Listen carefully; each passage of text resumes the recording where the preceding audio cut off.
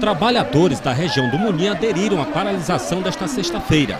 A greve geral é contra os cortes de direitos promovidos pelas reformas trabalhista e previdenciária impostas pelo governo federal. A mobilização foi coordenada por sociedade civil organizada, como sindicatos rurais, de pescadores, associação de moradores e Igreja Católica, com apoio da Central Única dos Trabalhadores. A proposta é impedir a aprovação da reforma da Previdência. A gente tem que barrar essa reforma porque nós não podemos continuar ficando à mercê desse governo que só tem prejudicado a classe trabalhadora. E ele não pode barrar a aposentadoria de quem trabalha. O trabalhador não pode contribuir durante toda a vida e no final não ter como se aposentar. Olha, a nossa categoria de trabalhadores rurais Tal, talvez não, eu tenho certeza que são os companheiros mais prejudicados com essa reforma previdenciária. Porque nós do campo, nós começamos a trabalhar mais cedo, nós, no, nossa, é, nossa vida ela é mais curta porque nós estamos mais tempo exposto ao sol, nós estamos mais tempo exposto à chuva, nós começamos a trabalhar desde menino na roça.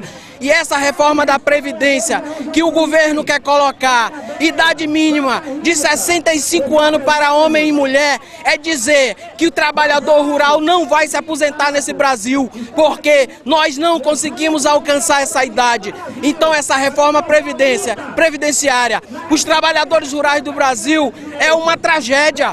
Os manifestantes se concentraram no entroncamento entre a BR-135, que liga a capital ao interior do estado, e 402, que leva aos lençóis maranhenses.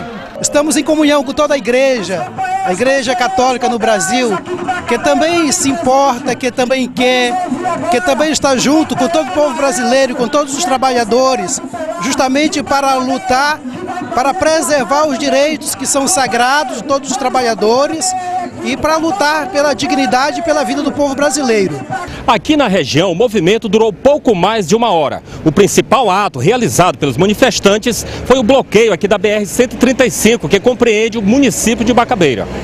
Quem pretendia chegar a São Luís logo cedo foi pego de surpresa. Uma enorme fila de veículos se formou rapidamente entre as duas rodovias. Mesmo presos ao trânsito, muitos motoristas apoiaram a iniciativa dos trabalhadores.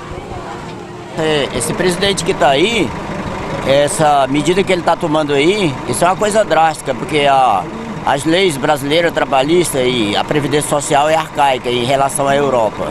E esse cara entra ainda diz que o cara vai ter que contribuir, é, trabalhar contribuindo 49 anos para aposentar. Se quebraram a Petrobras e outros órgãos públicos aí brasileiros, não somos nós que temos que pagar. E não é a Previdência que vai cobrir isso daí, entendeu? Então é o seguinte, tem que ter a lei trabalhista, a CLT, devia funcionar melhor no Brasil. O Brasil aqui é, é trabalho escravo.